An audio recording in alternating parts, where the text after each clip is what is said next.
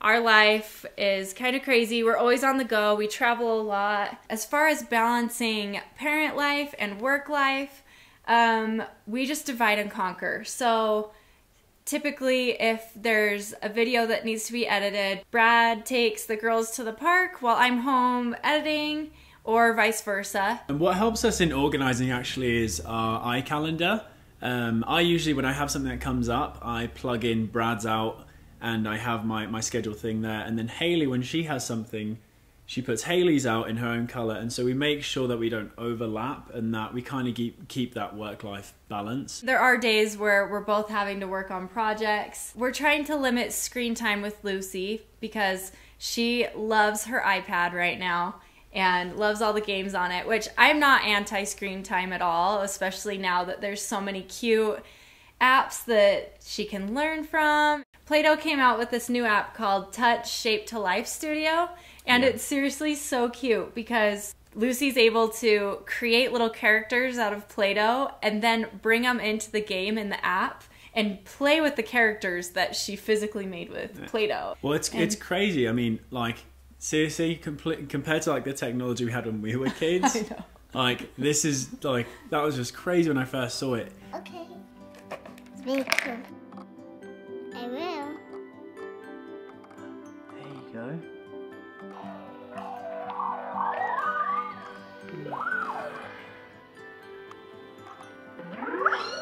it allows Lucy to, to stay creative and also still have her and screen time that she wants. And keeps her busy. So in the morning, when we're planning out our day, we typically set aside a time around like 5 or 6 p.m. that we're like, okay, we're going to be done working at this time and spend time as a family. It happened to us in the past where it was just like all of our conversations were about work and work and work, and it felt like work never ended. And as much as we love our work, I mean, obviously you need a life outside of that.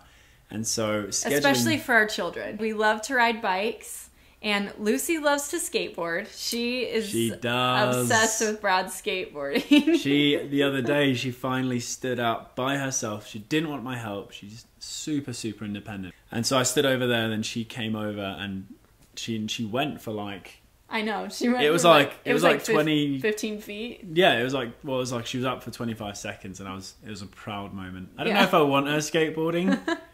but I was I was super proud of her then. Right now, both of our girls still take naps. They're both napping right now. That's how we're doing this video. And then for dinner, it's so funny because we don't have the traditional husband wife roles. We typically just order Papa John's every yeah, day. No. I need to get better at cooking. That's for sure.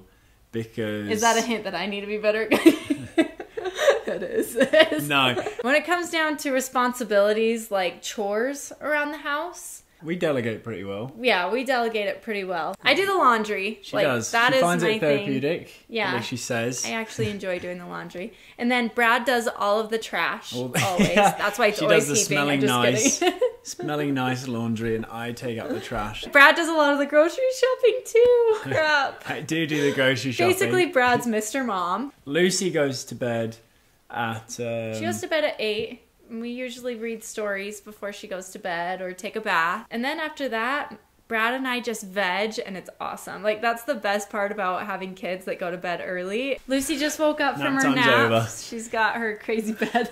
I gave her a bath before bed, so now she's just Crazy old Maurice. But anyway, that is a typical day in the Devine household. Just hustling, been, making it happen. Yeah, it's been especially crazy these last couple weeks because we've been launching our new website, Somewhere Devine.